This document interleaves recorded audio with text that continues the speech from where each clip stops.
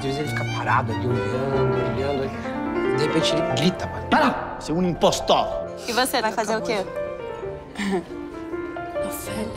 Ana fala sobre essa relação complexa de um diretor com seu elenco, especialmente com sua atriz, sua protagonista, é, no processo de criação de um Hamlet, assim, onde assim limites são ultrapassados. Assim.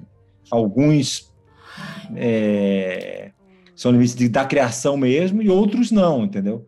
E o filme debate exatamente sobre isso. Qual o limite entre o desejo e a ética? O que o Arthur quer, o que o Arthur não quer. Você é uma das musas dele? Lembre-se, você é o príncipe, mas o rei sou eu. E aquela companhia que não fala nada nunca, aquilo é muito muito potente, assim, né? Porque a gente fica.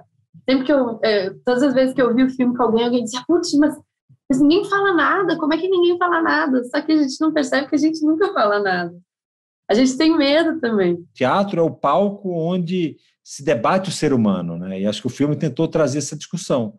O ser humano na sua complexidade, com a sua glória, com as suas dores, com as suas fraquezas, com os seus fracassos, com as suas inseguranças, com as suas vilanias e com a sua é, grandiosidade também.